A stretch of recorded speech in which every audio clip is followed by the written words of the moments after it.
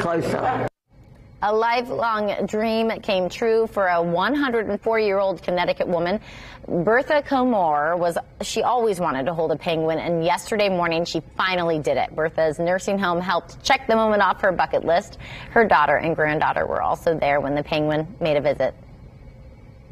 I'm just so excited for her and just so happy that she's able to have had this wish come true and just to have been in our life for as long as she has. The Twilight Wish program helped make the moment possible.